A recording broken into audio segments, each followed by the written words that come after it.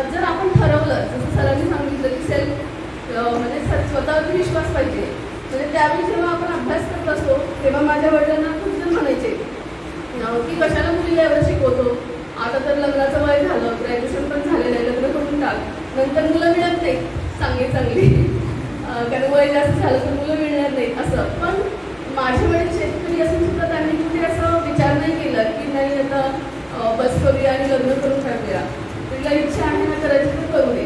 मग खूप जणांनी सांगितलं, तुमच्याकडे पैसे पण नाही आहेत आणि सरकारी नोकरीमध्ये पैसे लागतात.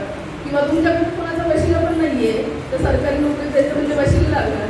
तर ह्या सगळ्या गोष्टी ह्या ऐकिवाच्या गोष्टी असतात फक्त. जसं सरांनी आता सांगितलं की बारा बारा लाख मुलं बसतात. त्यातून कुठेतरी तुमचा चेहरा तर दाखवा कारण मी मंडळगड तालुक्यामध्ये अधिकारी म्हणून नियुक्त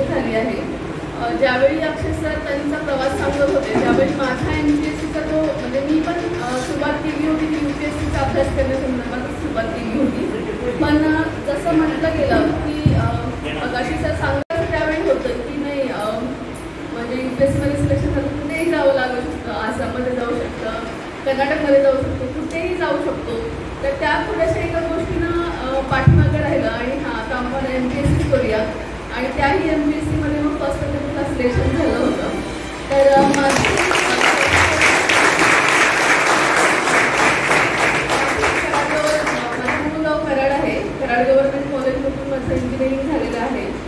आणि त्याच्यानंतर जेव्हा इंजिनिअरिंग झाल्यानंतर, त्यावेळी पहिल्यांदा एक्झाम दिली आणि त्यामधून सिलेक्शन झालं. तर मला हे सांगायचं आहे की माझे वडील शेतकरी आहेत, अजूनही शेती करतात बायको लहान भाऊ आहे आणि त्याही परिस्थितीमध्ये की आपल्याला असं वाटतं की आम्ही तर गरीब आहे, आमच्याकडे पैसे नाही आहेत आम्ही काही करू शकत नाही.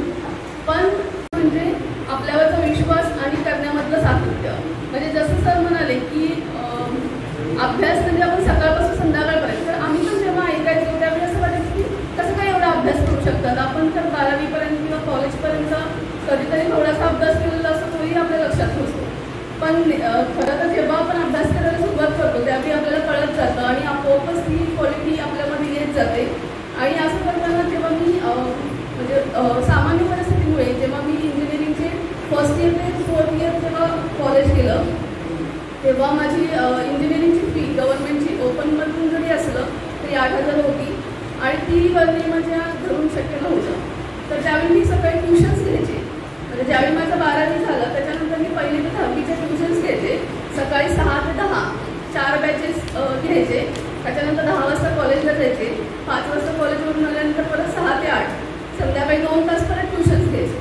आणि असं वर्ष ट्युशन्स करत करत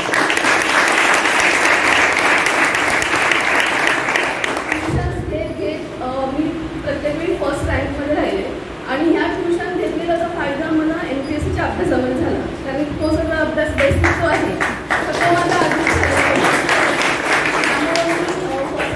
सिलेक्ट होऊ शकेल. तर मला एवढंच सांगितलं की जास्त वेळ नाही घ्यायचा की जर आपण ठरवलं की आपल्याला करायचं आहे, मग आपल्याला मार्ग दिसत जातो, आपल्याला त्याचं